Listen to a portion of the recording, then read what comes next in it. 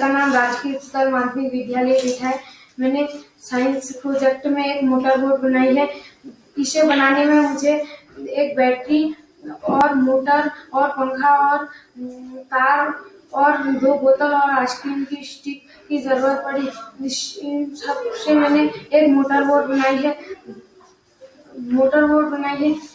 इस, इसमें motor boat डूबती भी नहीं है मोटर बोट आर्बिट्रेटी प्रिंसिपल के कारण नहीं डूबती। आर्बिट्रेटी प्रिंसिपल का मतलब है किसी तरल वस्तु में लगने वाला उत्प्लावन बल, उस वस्तु द्वारा उत्प्लावन तरल तरल के भार का होगा और उसका नीचे का फोर्स उस वस्तु के भार का होगा। नाव आगे कैसे बढ़ती है नाव आगे मोटर के द्वारा बढ़ती है। मोटर से उसे प्रेरक संचालन शक्ति मिलती है। और मैं इसे चला के दिखाऊँगा। और ये एक परात है इसमें मैंने पानी लिया है, और मैं इसे इसमें चला के दिखाऊँगा।